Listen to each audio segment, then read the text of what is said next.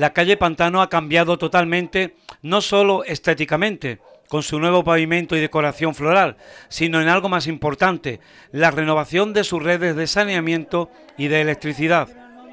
Además, como otras calles de su entorno, se convierte en peatonal. La inversión, 100.000 euros, corre por cuenta de la concesionaria del servicio de aguas, Hidralia, extraída de su canon de beneficio que revierte en mejoras para la ciudad.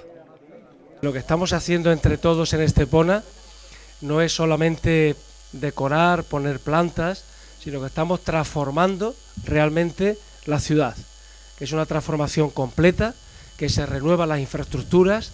Hay una vecina que me decía hace un rato, lo más bonito de la calle es lo que no se ve.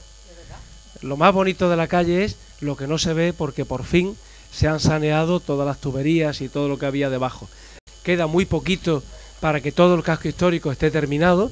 Esta obra se ha realizado con el apoyo económico de Hidralia, es decir, eh, no los vecinos no habéis tenido que pagar nada, pero el ayuntamiento tampoco, sino que ha sido la empresa del agua que ya gana su dinerillo con el agua que cobra todos los meses, ya lo gana de ahí, bueno, pues eh, en, contraprestación y por responsabilidad social corporativa, y yo le doy las gracias a la compañía Hidralia porque una parte de sus beneficios los reinvierte en la ciudad.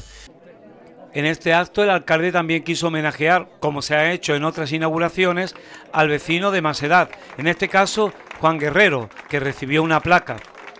También reza en una cerámica conmemorativa el nombre de las familias que tradicionalmente han habitado esta calle.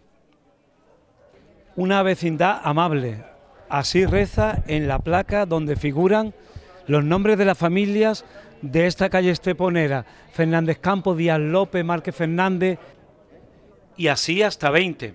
Pero es relevante destacar las obras realizadas para la renovación de la red de alcantarillado, que padecía problemas de obstrucción del colector y filtraciones al subsuelo. Se ha mejorado totalmente el sistema con la instalación de una red de pluviales separando las canalizaciones fecales de la recogida de agua de lluvia, dando continuidad a las redes que provienen de la calle Casares. Ambas redes son de PVC con diámetro de 315 milímetros y 75 metros de longitud, que incluye pozos de registro para su inspección y mantenimiento, sumando la colocación de inbornales en la red de pluviales para la correcta evacuación de agua generada por la lluvia, evitando posibles inundaciones.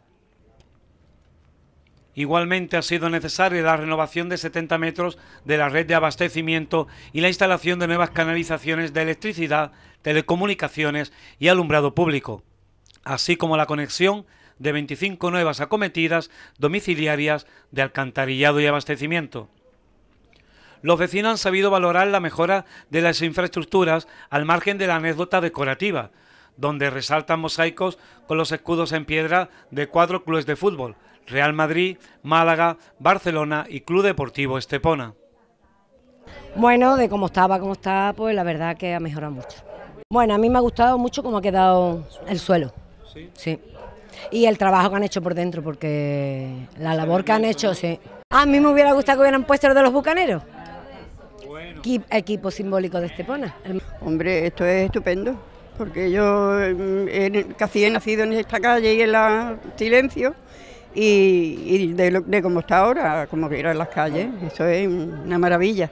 Es que lo que teníamos ya era una verdadera porquería y ahora por lo menos está todo subsanado y bien. Un honor por nosotros que el Fútbol Club Barcelona está representado en esta ciudad, por supuesto. Una ciudad tan bonita donde tenemos nosotros el escudo nuestro. Entre los concejales que asistieron a la inauguración se encontraba Ana Velasco, responsable de Fomento e Infraestructuras, y Susana Casaño, concejala de Participación Ciudadana. La calle ha quedado magnífica, como podéis ver aquí en el folleto, el antes y el después, bueno, es incomparable eh, la labor que se ha hecho, tanto tanto a través de forma subterránea con el cambio de todas las tuberías, pues pluviales, fecales, así como el adoquinamiento y el embellecimiento de la calle. También tengo que agradecer a los vecinos lo bien que se han portado. Eh, con los obreros, los obreros también lo han hecho muy bien, la verdad es que ha sido una calle que ha ido rodando muy fácilmente, la obra ha terminado muy pronto Con calle Pantano son actualmente 71 las calles que se han visto beneficiadas por el plan de mejora del casco histórico, 12 kilómetros de remodelación que continuarán con nuevos proyectos.